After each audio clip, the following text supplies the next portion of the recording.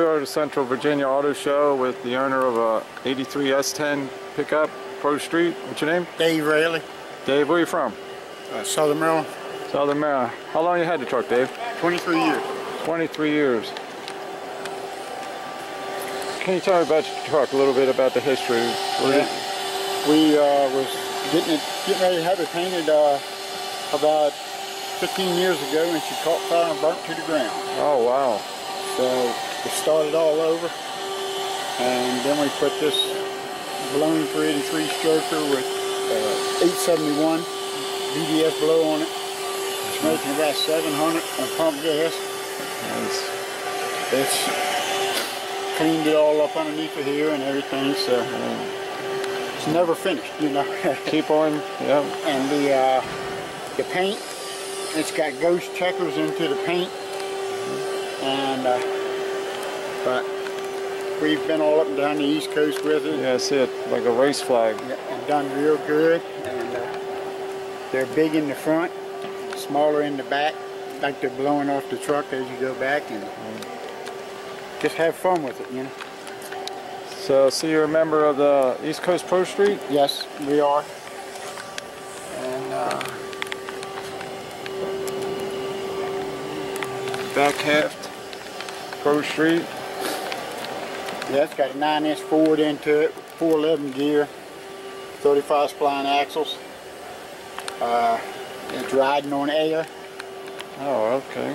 Uh, it's, you cleaned the back of it up a little bit, and it's all been overlaid with new metal over top the uh, existing uh, body and tubs and everything. Uh-huh. And uh, Little batteries. it's uh, we uh, White just- Lightning, huh? yes, sir. We just enjoy. This was supposed to be a moonshine still. Oh, We had the tubes running back over in there, and the young boy that done the uh, work, he didn't know nothing about no moonshine. stuff, Oh. so we just put that on there. uh, yeah, we So- custom made all of this. The uh, roll pan had to be split and had an inch taken out of it so we can still open and close the tailgate It's nice. and uh, everything. So we enjoy it. So you said, uh, what did it catch your electrical fire or something? Uh, no, I had a guy doing some work under the hood. He took the fuel pressure gauge line off and tucked it up in the hood scoop and told him my truck was up. Oh my goodness. So when I started it up, it just, Poof. everything lit up. Yeah. what I mean?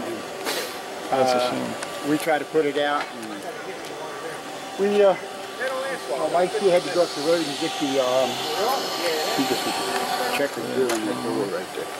And, uh, you could, uh, had to go up call the fire department because we didn't have no service. Wow.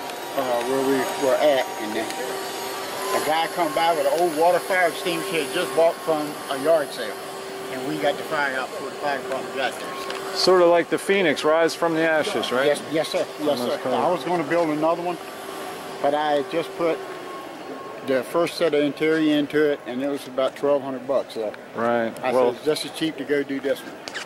But it burnt holes in the firewall. It melted the windshield, melted the carburetor off the motor. So it's uh, Well, you've done a great job with it. I sure appreciate it, sir.